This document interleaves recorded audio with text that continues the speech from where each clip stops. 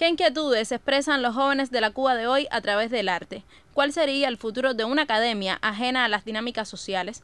Para estas preguntas, la Universidad de las Artes ensaya múltiples respuestas. En esta sexta edición, su festival se ha propuesto desbordar sus espacios habituales. Centros culturales, teatros, calles y parques de la capital ceden terreno a los jóvenes artistas que buscan mostrar su obra ante nuevos espectadores. Una universidad donde el desempeño práctico es tan significativo eh, en, carreras en las cuales todos los años los estudiantes tienen que hacer ejercicios integradores en los cuales demuestran sus habilidades, las habilidades adquiridas y su potencial de creación real.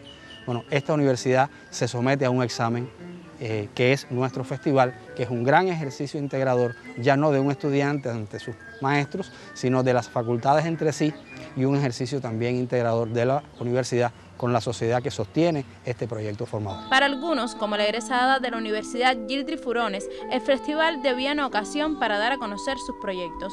Otros se encuentran en talleres, exposiciones y debates para dialogar sobre los espacios de creación artísticos y en qué medida pueden ser mejor aprovechados. La Facultad de Medios Audiovisuales proyecta las obras del concurso Imago en la sala Alfredo Guevara del Pabellón Cuba conferencias e intercambios sobre géneros cinematográficos y las problemáticas que enfrentan los jóvenes realizadores se suceden a propósito del evento. Música, teatro, danza y artes visuales en sus más variadas expresiones se funden en este festival en proyectos conjuntos. Hasta el próximo 29 de marzo, gracias al Festival de las Artes, usted podrá actualizarse con lo más reciente que gestan jóvenes creadores de todo el país.